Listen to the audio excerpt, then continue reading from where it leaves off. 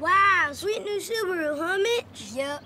You're selling the Mitchmobile? Man, we had a lot of good times in this baby. What your dad want for it? Like 150 grand. 200 if they want that tape deck. You're not gonna tell your dad about the time my hamster had babies in the back seat, are you?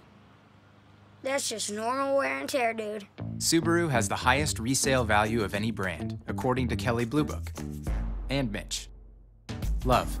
It's what makes a Subaru a Subaru.